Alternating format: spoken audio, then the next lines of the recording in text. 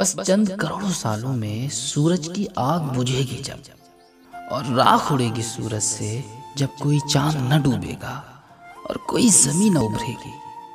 तब ठंडा बुझा एक कोयला सा टुकड़ा ये जमी का घूमेगा। भटका भटका मध्यम खिस्त्री रोशनी में।